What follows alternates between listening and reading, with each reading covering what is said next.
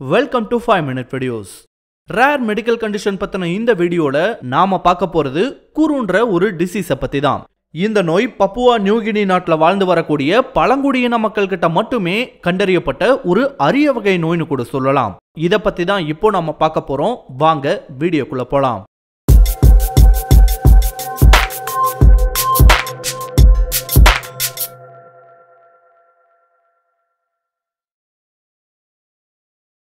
Papua நியூகினியாவோட மலை பிரதேசங்களில் வாழ்ந்து வரக்கூடிய பழங்குடியினருக்கு மட்டுமே ஏற்பட்டு வந்த இந்த நோய் எதன் காரணமாக உருவாகுதுன்னு கண்டறிந்ததற்கு பின்னாடியே ஒரு பெரிய வரலாறு இருக்குன்னு சொல்லலாம். அதை பற்றியெல்லாம் இப்போ ஒன்னொன்னா பார்ப்போம் உலகம் பூராவுமே தங்கத்திற்கான தேடுதல்ன்றது பல நூற்றாண்டுகளாகவே நடந்து வருது. இப்போவுமே பல இடங்களில் தங்கத்திற்கான தேடுதல் நடந்துக்கிட்டு தான் வருது. அப்படியே ஆயிரத்தி தொள்ளாயிரத்தி முப்பதுல ஆஸ்திரேலியாவை சேர்ந்த சில பேர் பப்புவா நியூகினி நாட்டோட மலைகள்ல எங்கேயாவது தங்கம் கிடைக்குமான்னு தேடி போயிருக்காங்க. அப்போதான் தெரிஞ்சிருக்கு பப்புவா நியூகினியோட மலைகள்ல பழங்குடியின மக்கள் பல ஆயிரம் பேர் வாழ்ந்து வர்றாங்கன்ற ஒரு விஷயமே. இதுக்கப்புறம் தான் இவங்களை பத்தின செய்தியே வெளி உலகத்துக்கு தெரிய வருது. இது நடந்ததுக்கு பின்னாடி ஆயிரத்தி தொள்ளாயிரத்தி ஐம்பதுகள் வாக்குல இந்த மக்களை பத்தி தெரிந்து கொள்வதற்காக ஆராய்ச்சியாளர்கள் இவங்களை வந்து சந்திக்க ஆரம்பிச்சாங்க. அப்பதான் அவங்க எதிர்பார்க்காத ஒரு வித்தியாசமான பிரச்சனை அவங்களோட கண்ணில் பட்டிருக்கு. அவங்க சந்திச்சதுல அதிக நபர்கள் கொண்ட இனக்குழுவா ஃபோர் ஹண்ட்ரட் ட்ரைப் இருந்திருக்காங்க. அப்பயே அவங்க கிட்டத்தட்ட பதினோராயிரம்ன்ற எண்ணிக்கையில இருந்தாங்களாம். அவங்கள பத்தின ஆராய்ச்சியில் ஈடுபடும் போதுதான் அதுல இருநூறு பேர் ஒரு இனம் புரியாத நோயினால பாதிக்கப்பட்டிருப்பது அவங்க கண்டுபிடிச்சாங்க. அதை பத்தி அவங்க கிட்ட கேட்டதுக்கு அந்த நோயை குருன்னு குறிப்பிட்டிருக்காங்க. இதுக்கு என்ன அர்த்தம் வருதுன்னா ஷிவரிங் அதாவது நடுங்குவது மாதிரியான ஒரு அர்த்தத்தை கொண்டது தான் இந்த குருன்ற வார்த்தை. இந்த நோய் ஒருத்தரை தாக்குச்சுன்னா அவங்க மோசமான விளைவுகளை சந்திச்சதுக்கு பின்னாடி தான் இறக்கவே நேரிடும்.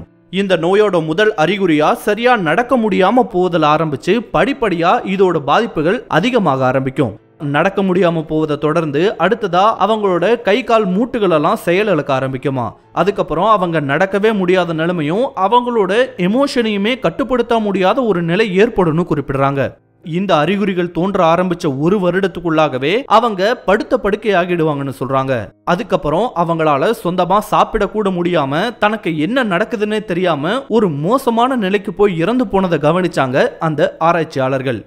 இது அவங்களுக்கு ரொம்பவே அதிர்ச்சியா இருந்தது இது பத்தி லோக்கல் பீப்புள்ஸ் கிட்ட கேட்டப்போ இது ஒரு வகையான சூனியன்ற மாதிரி குறிப்பிட்டிருக்காங்க. ஆனா அங்க போன ஆராய்ச்சியாளர்களுக்கு இது வேற என்னமோ ஒரு பிரச்சனைங்கிறது தெளிவா தெரிஞ்சது. அதுவும் முக்கியமா நர்வஸ் சிஸ்டம்ல ஏற்படக்கூடிய பாதிப்புன்றதையும் அவங்க கண்டுபிடிச்சாங்க. அது மட்டும் இல்லாம அந்த பழங்குடியின மக்கள் இதுல இருந்து எப்படியாவது வெளியே வரணுங்கிறதுக்காகவும் பல்வேறு முயற்சிகளை எடுத்துட்டு வந்திருக்காங்க. ஒருவேளை அவங்களுக்கு மட்டும் சரியான ஒரு வழி கிடைக்கலன்னா கிட்டத்தட்ட அவங்க இனமே அழியக்கூடிய ஒரு நிலைக்கு தள்ளப்பட்டிருக்குன்றதும் அவங்களோட கவலையா இருந்திருக்கு. சோ இதை தொடர்ந்து ஆராய்ச்சியாளர்கள் இது எதனால ஏற்படுதுன்னு ஆராய்ச்சிகளை மேற்கொள்ள ஆரம்பிச்சிருக்காங்க. அவங்க சாப்பிடுற உணவுனால இது ஏற்படுதா? இல்ல அவங்க குடிக்கக்கூடிய தண்ணீர்னால ஏற்படுதா? இல்ல வேறு ஏதாவது காரணங்களால இது ஏற்படுதான்றது உட்பட எல்லா விஷயங்களையுமே ஆராய்ச்சி செஞ்சிருக்காங்க. இப்படி பல கட்ட ஆராய்ச்சிகளுக்கு பின்னாடி இது ஒரு ஜெனட்டிக் ப்ராப்ளமா இருக்கலான்ற ஒரு முடிவுக்கு வர்றாங்க அந்த ஆராய்ச்சியாளர்கள். குறிப்பா ஷெர்லி லிண்டன் பாம்ன்ற ஒரு ஆராய்ச்சியாளர் இந்த ஒரு முடிவுக்கு வந்திருக்காங்க. ஆனா அதுவுமே ஒரு கட்டத்துல அடிபட்டு போகுது. என்னன்னா ஒரே இனக்குழுவை சேர்ந்தவங்களுக்கு மட்டும் இது நடக்காம வேறு இனங்கள்ல இருந்து இங்க கல்யாணம் பண்ணிட்டு வந்த பெண்களையுமே இந்த நோய் தாக்கி இருக்கு. அப்படின்னா வேறு ஏதோ ஒரு காரணம் கண்டிப்பா இருக்குன்றத மட்டும் அவங்க புரிஞ்சுக்கிட்டாங்க. அதுவும் குறிப்பா அந்த இனக்குழுவை சேர்ந்த வயதான பெண்மணிகளுக்கும் எட்டு வயசுக்கு கீழே இருக்க குழந்தைகளுக்கும் இந்த நோய் தாக்கி இருப்பதை கவனிச்சாங்க ஆராய்ச்சியாளர்கள். ஸோ வேற ஏதோ பிரச்சனை இருக்குன்னு தெரிஞ்சுக்கிட்ட ஷெர்லே லெண்டன் பாம் அது சார்ந்து தேட ஆரம்பிக்கிறாங்க. அப்போதான் இந்த பகுதியை சேர்ந்த பல கிராமங்கள்ல ஒரு வினோதமான நடைமுறை இருந்ததும் அவங்களுக்கு தெரிய வந்தது. என்ன நடைமுறைன்னு பார்க்கும்போது இந்த இனக்குழுவில் இருக்க ஏதாவது ஒரு நபர் இறந்து போயிட்டா அவங்களோட உடலை எரிக்கவோ இல்ல புதைக்கவோ மாட்டாங்களாம். அதுக்கு மாறா என்ன பண்ணியிருக்காங்கன்னா அவங்களையே சாப்பிட்டுடுவாங்களாம். அதாவது அவங்களோட பிறப்புறுப்பை தவிர்த்து எல்லாத்தையுமே சாப்பிட்டுடுவாங்களாம். இந்த ஒரு பழக்கம் பெண்கள் கிட்ட அதுவும் குறிப்பா கொஞ்சம் வயதான பெண்கள் கிட்ட இந்த பழக்கம் அதிகமாவே இருப்பதை கவனிச்சாங்க ஆராய்ச்சியாளர்கள். இதுக்கு என்ன காரணம்னு பார்க்கும்போது அவங்களோட நம்பிக்கையின்படி இறந்து போனவங்களோட உடலை சாப்பிடுவதன் மூலமா அவங்க அந்த மக்கள் கூடயே இருந்து அவங்கள பாதுகாப்பாங்கன்றது அவங்களோட நம்பிக்கையா இருந்திருக்கு. அதுவும் குறிப்பா ஏன் பெண்களை மட்டும் இது அதிகமா தாக்குதுன்னு பார்க்கும்போது அவங்க தான் இறந்து போன நபரோட மூளையை சாப்பிடக்கூடிய நபர்களா இருந்திருக்காங்க. சரி இந்த நோய் எப்படி சின்ன பசங்களை தாக்க ஆரம்பிச்சதுன்னு பார்க்கும்போது ஒரு கட்டம் வரைக்கும் பெண்கள் மட்டுமே சாப்பிட்டு வந்த உடல் உறுப்புகளை தங்களோட குழந்தைகளுக்கும் ஒரு கட்டத்துக்கு மேல கொடுக்க ஆரம்பிச்சாங்க. பெண் குழந்தையா இருந்தா தொடர்ந்து அவங்களோட அம்மாக்கள் கிட்ட இருந்து இதை சாப்பிடக்கூடிய ஒரு நிலை ஏற்படும். அதே ஆண் குழந்தையா இருந்தா ஒரு வயசுக்கு மேல அந்த குழுவில் இருக்க ஆண்களோட போய் சேர்ந்துருவாங்களாம். இப்படிதான் குழந்தைகளுக்கும் இந்த நோய் பரவி இருக்கலான்றதையும் கண்டுபிடிச்சாங்க ஷிர்லே லிண்டன்பாம்.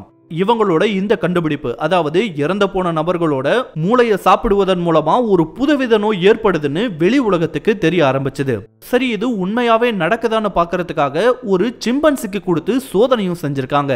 சில வருடங்கள்ன்ற இடைவெளியில இந்த குரு நோய் ஏற்பட்டா எந்த மாதிரியான சிம்டம்ஸ் எல்லாம் ஏற்படுமோ கிட்டத்தட்ட அதே மாதிரியான சிம்டம்ஸ் அந்த குரங்குக்கும் ஏற்பட்டிருக்கு. சோ இதை வச்சு என்ன முடிவு பண்ணாங்கன்னா இறந்து போன ஒரு நபரோட மூளையை சாப்பிடும்போது அவங்களுக்கு நரம்பியல் சார்ந்த ஒரு நோய் ஏற்படும்ன்றத உறுதியாவே அறிவிச்சாங்க. சரி இது குறிப்பா எதனால ஏற்படுதுன்னு பார்க்கும்போது பிரயான்ஸ்னு சொல்லக்கூடிய அப்நார்மல் புரோட்டீன்ஸ்னால தான் ஏற்படுதுன்றதையும் கண்டுபிடிச்சாங்க. பிரயான்ஸ்ன்றது ஒரு வகையான பாக்டீரியாவோ வைரஸோ இல்ல ஃபங்கஸோ கிடையாது. அது இன்ஃபெக்ஷியஸான புரோட்டீன்றதையும் குறிப்பிடுறாங்க. இந்த புரோட்டீன் என்ன பண்ணுனா மூளையில போய் மல்டிப்ளை ஆக ஆரம்பிக்கும். அப்படி மல்டிப்ளை ஆகும்போது மூளையோட பல பகுதிகள் செயலிழக்க ஆரம்பிக்குமா? அதுவும் குறிப்பா உடலை கட்டுப்படுத்தக்கூடிய பேலன்ஸ்ல வைக்கக்கூடிய அந்த பகுதின்றது இதனால ரொம்பவே அதிகமா பாதிக்கப்படும் சொல்றாங்க. இந்த பிரயான்ஸ் அஃபெக்ட் ஆன ஒருத்தரோட மூளையை சாப்பிடுவதன் மூலமா தான் இந்த பிரயான்ஸ் மற்றொருவருக்கு கடத்தப்படுவதாகவும் கண்டுபிடிச்சாங்க. சோ இதன் பிறகு மேற்கொள்ளப்பட்ட பல்வேறு நடவடிக்கைகளுக்கு பின்னாடி கேனிபாலிசம் அதாவது மனித சடலங்களை சாப்பிடக்கூடிய அந்த செயல்முறைங்கிறத அந்த பழங்குடியின மக்கள் முழுவதுமா கைவிட்டுட்டாங்க. இருந்தாலுமே அந்த டிசீஸ் கடந்த ஐம்பது வருடங்கள்ல பலருக்கும் ஏற்பட்டிருக்குன்னு சொல்றாங்க. அதாவது அந்த நடைமுறை வழக்கத்துல இருந்த சமயத்துல யாரெல்லாம் சாப்பிட்டாங்களோ அவங்களுக்கு பல வருடங்கள் கழிச்சு இந்த நோய் ஏற்பட்டதையும் கண்டுபிடிச்சாங்க. கடைசியா இந்த குறு நோயினால ஏற்பட்ட இறப்பு இரண்டாயிரத்தி ஒன்பதுல பதிவு செய்யப்பட்டுச்சு. அதுக்கப்புறம் இரண்டாயிரத்தி பன்னெண்டுல இந்த குரு டிசீஸ் அபிஷியலா முடிஞ்சிடுச்சுன்னு கூட அறிவிச்சிட்டாங்க. இருந்தாலுமே இப்ப வரைக்கும் அந்த இனக்குழுக்கள்ல சர்வேலன்ஸ்ன்றது நடத்தப்பட்டு தான் வருது. சரி இந்த நோயை கண்டுபிடிச்சதுக்கு பின்னாடி இதை கட்டுப்படுத்த ஏதாவது மருந்துகளோ இல்ல எதிர்காலத்துல இந்த மாதிரியான ஒரு நோய் உருவானா அதை கட்டுப்படுத்துவதற்கான மருந்துகள் ஏதாவது கண்டுபிடிக்கப்பட்டிருக்கான்னு பார்க்கும்போது இல்லங்கிறது தான் விட. இந்த நோய் தாக்கினவங்களை குணப்படுத்தக்கூடிய மருந்துகள்னு எதுவுமே கிடையாது. கண்டிப்பா அவங்க இறந்து போயிடுவாங்கன்றது ஒரு மோசமான விஷயம்தான். சோ இதுதான் பாப்புவா நியூகினியாவை சேர்ந்த பழங்குடியின மக்களுக்கு மட்டுமே ஏற்பட்ட கூறுன்ற டிசீஸ் பத்தின தகவல்கள். இந்த குரு டிசீஸ் பற்றின ஒரு சின்ன வீடியோ கிளிப்பை நான் இதோட டிஸ்கிரிப்ஷனில் கொடுத்துருக்கேன். விருப்பம் இருந்தால் கண்டிப்பாக பாருங்க. இந்த வீடியோவில் நாம் பார்த்த குரு டிசீஸ் மாதிரியே விலங்குகளுக்கு மேட் கவு டிசீஸ்னு ஒன்று பதிவு செய்யப்பட்டிருக்கு. அதோட ஹியூமன் ஃபார்மா பார்க்கப்படுற சிஜேடியும் கிட்டத்தட்ட குருவோட சிம்டம்ஸை ஒத்திருப்பதா சொல்றாங்க. அதை பத்தியும் இனி வரப்போற வீடியோஸ்ல தெளிவா பார்க்கலாம். இந்த வீடியோ உங்களுக்கு பிடிச்சிருந்தா லைக் பண்ணுங்க கம் பண்ணுங்க ஷேர் பண்ணுங்க. இதே மாதிரியான புதிய வீடியோக்களை பார்க்க மறக்காம ஃபைவ் மினிட் வீடியோஸ் சேனலுக்கு சப்ஸ்கிரைப் பண்ணுங்க. அண்ட் மறக்காம நோட்டிஃபிகேஷன் பெல்லைக்கானையும் கிளிக் பண்ணி விடுங்க தேங்க்யூ